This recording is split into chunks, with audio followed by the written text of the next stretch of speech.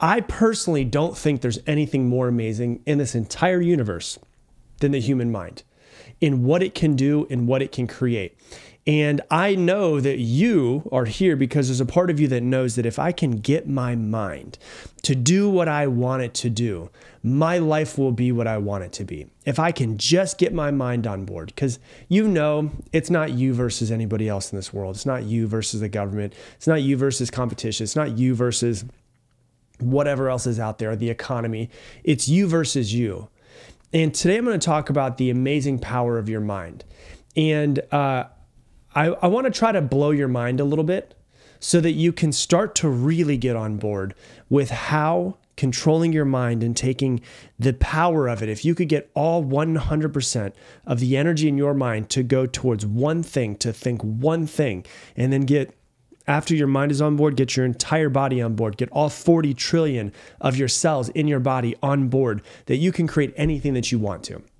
And it is estimated that up to 32% of all medical healings come from this thing that's called the placebo effect. And I don't know why people don't talk about it more because it's fucking incredible. What it means is that somebody believes that they're healed and they heal themselves. They're given a sugar pill and they're told that that pill can cure whatever disease that they have. Even though there's only sugar inside of that pill, because they take it and they believe that they're going to be healed, they become healed. That's insane. And so that's what we're going to talk about today is I really want you to understand the power of your mind based off of what you think in the positive, but also the power of your mind based off of what you think in the negative. And so Ali Crum, who's a professor of psychology and director of uh, professor of psychology at Stanford and uh, the director of the Mind Body Lab, did this experiment on people where she gave them milkshakes. And what they did was they gave people milkshakes and they measured their body's physiological response to the milkshakes. So one group, they said, hey, this milkshake is a high fat, high calorie shake. The exact same shake was given to another group of people, and they said, This is a sensible, low calorie shake. And each one of the participants on both sides, and they had a, a, group of people, had to have one of these shakes per week, um, one of these shakes per day for a week. And so what they found was that there's this chemical that's called ghrelin that creates the feeling of hunger in your body. When they gave the shake to the people and they thought it was a high fat, high calorie shake, ghrelin, which is the thing that creates the feeling of hunger in your body, dropped three times more in the people who thought it was a high calorie, high fat shake. The ghrelin, which makes you hungry, dropped three times more than when they thought they were consuming a sensible shake. With every single person in the study. So basically, their bodies responded as if they consumed more food because they thought it was a high calorie, high fat shake, even though it was the same shake between both people, which shows what your mind thinks your body will also follow. Another uh, really incredible study that they did was on housekeepers. So they went to a hotel with housekeepers and they realized that, you know, when you look at the, the Surgeon General, they recommend that every person gets a minimum of 30 minutes of moderate exercise per day. Right? So the Surgeon General in the United States says, hey, the average person should get at least 30 minutes of exercise, moderate exercise every single day. And then what they did was they went to all of these housekeepers and they said, hey, on a scale of one to 10, with how much you work out, with how much you take care of yourself, on a scale of one to 10, what do you rate yourself as far as how you take care of yourself? And on average, all of them rated themselves together about a three out of 10. And then they took a group of them, they split them into two different groups. One group they did nothing with, they just let them continue on their way. The other group they pulled off to the side and they said, hey, I want you to understand that being a housekeeper is incredible for your body because you're getting way more than what is recommended. If you look at this, the Surgeon General says that you should get 30 minutes of moderate exercise per day. You're getting eight to nine hours of moderate exercise with your job. And then they followed up with the with all of them, the group that they told nothing to, nothing changed in their bodies. The group that they told that, hey, this is actually good for you, your job is good for you, lost weight and on average decreased their blood pressure by 10 points on average. And when they rated them and had them rate themselves at the end of this study, the ones who who um, realized that they had you know been doing more than just the average moderate exercise rated themselves as feeling better about their bodies at work and none of them reported any difference in their diet or their workout routine. So hold on this is crazy. They tell a group of ladies that their job is good for their body because they're doing way more exercise than what is recommended every single day. And they lost weight and they decreased their blood pressure by on average 10 points. The other group of women who they did not tell this to had no differences. And neither one of the groups reported any difference in diet or workout routine. So think about this for a second. What do you think inside of your head all day long? What do you say to yourself? Oh, my back's just always sore. Oh, my knees are always hurting. Oh, and I'm like even hesitant even saying these things out of out of, out of my mouth because I don't want it to manifest in my body. But what type of stuff are you saying to yourself? What type of stuff is running through your head? Because these women just thought that their job was better for them and they lost weight. They thought that their job was better for them and they lost, dropped their, their blood pressure by an average 10 points. Another thing that was done was called the, SAM, the, the sham surgery trials. And so what they had, uh, this, this one study, what they had was, was patients with osteo, osteo, osteoarthritis in the knee were either given real surgery or what they called a sham surgery, which in this, some people went in and they had actual osteoarthritis surgery on their knee. Some people went under as if they were going to have surgery and all they did was they make an, made an incision on their knee, but did no surgical procedure at all on these people. Hey, real quick, I want to introduce you to something called Mindset Mentor Plus. If you love this podcast, you will absolutely love what I'm about to talk about. I designed Mindset Mentor Plus to help you actively integrate every one of these episodes into your life. And here's how it works with every episode of this podcast that comes out, Mindset Mentor Plus subscribers get more. You're going to get multiple page, detailed, printable worksheets, effectively a mini masterclass that's way more in depth than just this podcast. They also come with journaling questions challenges, assignments, and so much more. So that you're not just listening to these podcasts passively, but you're actively integrating them into your life. That way you improve much faster. I also do monthly Q&A sessions in there and much much more. If you want to learn more about it, go to mindsetmentor.com or click the link that's down in the description. So some people had surgery and then some people had no surgery, but what they did was they made a little tiny incision and then stitched it back up and so when they looked down at their knee, they saw, oh, there's the incision. They must have done surgery on me, right? And many of those people who received the sham surgery reported improvements in pain and function comparable to those who went through the real surgery. So people who went through the real surgery had improvements, but many of the people who had no surgery, they just had an incision on their knee, said that they had pain and function improvement that was comparable to those who underwent the real surgery, which is pretty crazy because it just shows you what you believe is actually what you're going to create in your reality. There was another study that was done. I just I'm just telling you this because I hope that you can just listen to all these and be like, holy shit, this is real. What's going on in my head? Am I thinking about in creating the future that I want, in the body that I want, in the health that I want? Or am I thinking about fears and worries and the stuff that I don't want? Or am I saying, oh my gosh, what if something happens to my health and I'm constantly thinking about something being wrong with my health? There's another study that was done on irritable bowel syndrome, so IBS. And the study was conducted uh, at Harvard Medical School. And it involved patients who had IBS. And some were given absolutely no treatment, while others were given placebo pills which means that they were just given pills that looked like pills, but there was sugar inside of them. And the doctors openly told them that they were sugar pills with no active ingredients. Surprisingly, the group that took the open label placebo reported twice the rate of relief compared to those who had no treatment. So the doctors literally said, This is a sugar pill. For some reason, the people thought in their head, well, this is this is going to help me. And so because of thought, because of the thought. It's just so wild to me in my head. Some people got nothing. Some people got a sugar pill. They were told it was a sugar pill. And the group of people who took the, the sugar pill that were told it was a sugar pill reported twice the rate of symptom relief compared to the no treatment group. Like it's insane. So nothing in all of these stories changed with the person.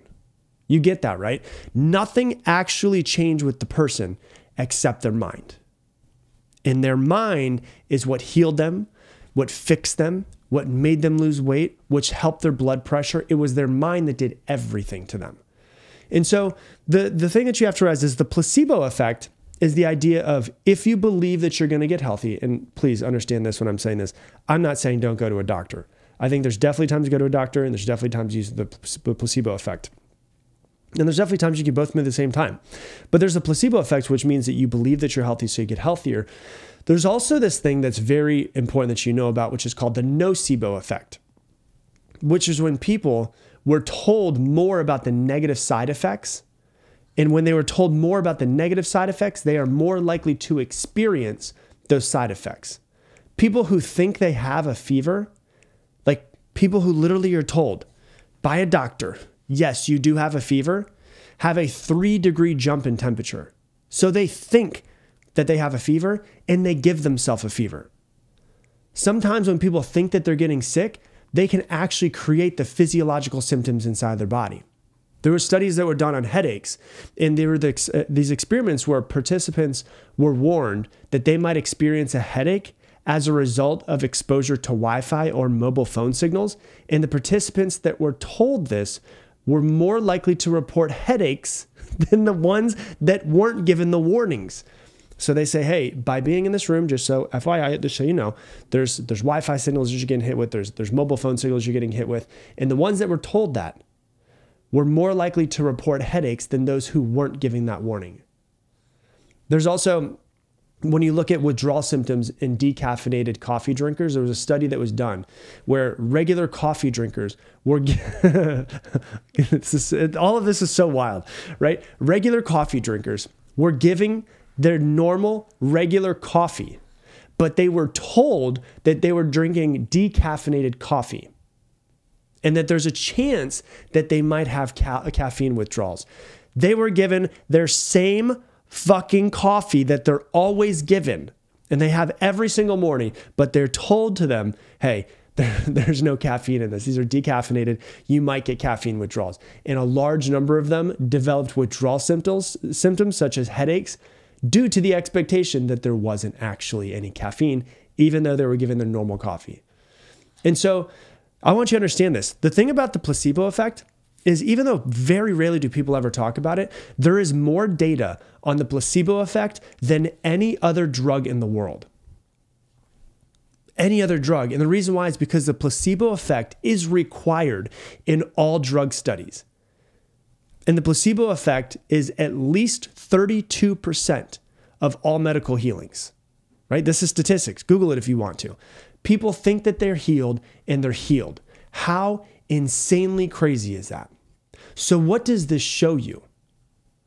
What you think about yourself actually changes everything in your life.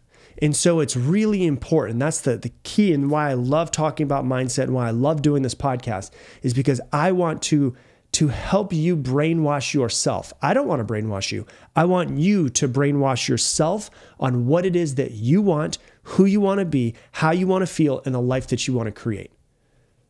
Because it's not just the circumstances themselves in your life, but what you think about your circumstances. It's kind of like the um, the whole story of like the twins who have an alcoholic father. So there's this this I think it's a parable of these two these two boys, they're twin boys, and they grow up with an alcoholic father. And 30 years down the road, they go and they find these two twin brothers born in the exact same environment. And one of them is an alcoholic, and the other one is a successful CEO. And they walk up to the one who is the alcoholic and they said, Why are you an alcoholic? And he said, I'm an alcoholic because my father was an alcoholic. Then they go up to the one that's a successful CEO and they say, Why are you not an alcoholic? And he says, I'm not an alcoholic because my father was an alcoholic. It's the exact same circumstances. It's just a different thought pattern around what their life was, the circumstances, all of that. And you know, I'm not saying just go out there and eat trash food and say that it's making you thin. But what I think is that if you tell yourself that you enjoy healthy food, and you enjoy what it's doing for your body and you believe that it's good for you, that you will love the taste more and you'll be more inclined to go and get healthier food. If you hate the gym, don't tell yourself, "Oh, I uh, oh, I love the gym." Like don't, "Oh, I love the gym. I just love the gym." Because you're going to have the BS me. It's like, "No, you don't." But tell yourself how much you enjoy taking care of your body and that this is just a piece of taking care of your body. I love taking care of I want to take care of my body. I want to take care of it. I want to take care of it. Naturally, you're going to start doing the things to take care of your body, which includes going to the gym, which includes eating healthier, which says say no to alcohol more, say no to sugar more. And remind yourself, oh, like every single set that I do inside of the gym is making me better. This is hard, but I love that I'm showing up for myself. Right? I want you to understand that. If you think, I, I remember there was one time I said this on uh, a live on one of the Zoom calls I was running in my, one of my programs, and I said this phrase, to, and this is back in 2020, and I said, if you think it's going to be a bitch, it's going to be a bitch and it was for a flight that one of my uh, one of my students at the time, Amar, was going through. He was going on a flight from from uh, Charlotte, North Carolina, down to the uh, Caribbean, and he was like, "Oh my gosh, I've got four kids, and we've got our nanny going, and it's going to be a bitch." And I was like, "Yeah, if you think it's going to be a bitch, it's going to be a bitch." And he actually wrote it down, and he still to this day, years later, keeps it on his desk. And I said, just think differently. If you think it's going to be terrible, it's going to be terrible. But if you think to yourself, I'm going on vacation with my family, I'm able to take my wife and my four children and myself and afford a nanny to come with us as well. How amazing is this? My parents were never able to do this. And you start thinking that way, there's a pretty good chance you might enjoy the flight a little bit more. He comes back to vacation. He's like, I can't believe it worked. I was like, what?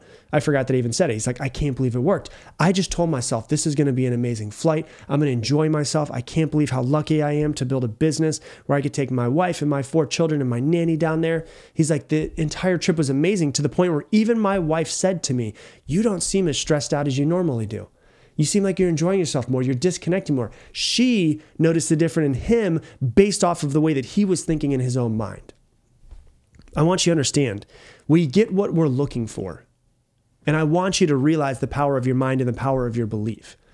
You know, if you look at uh, the, the word abracadabra, you know, I have an episode on this years ago that I did, but the word abracadabra, most people think it's like, oh, it's what a magician says when they pull a rabbit out of a hat, which it is. But it's a Hebrew word. It's an ancient Hebrew word that means, as I speak, I create. As I speak, I manifest that into reality, is what it means. And now when you think about it, that's speaking out loud, but what do you what is thinking? Thinking is speaking in your head. That's what it is. Thinking is speaking inside of your own head. And so as you think, you create. As you speak, you create. You have to realize the power of your belief. The power, your belief changes your words. Your words change your world. You speak everything into existence. And so you've got to understand don't ever say, I can't do that. Say something like, I can't do that yet or I am more even better, I'm working at improving at this. Don't say I'm not good at math. I'm improving at math. Because it's the difference between closing a door, I can't do that. Oh, door's closed, there's no reason to even try. Versus leaving the door open. I can't do that yet. I'm I'm improving at this. I'm working to get better at this. Don't say, you know, oh, I can't do this. Say stuff like I won't give up.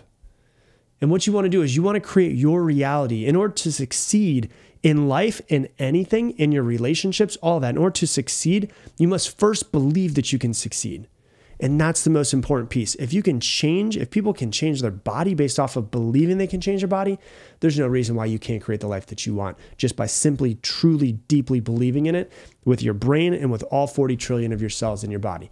That's how you manifest the life that you want.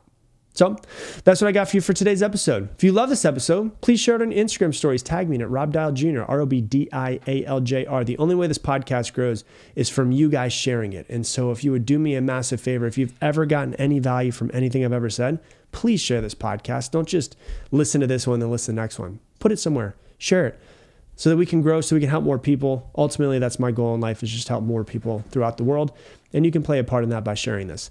And uh, with that, I'm going to leave the same way I leave you every single episode. Make it your mission to make somebody else's day better. I appreciate you, and I hope that you have an amazing day.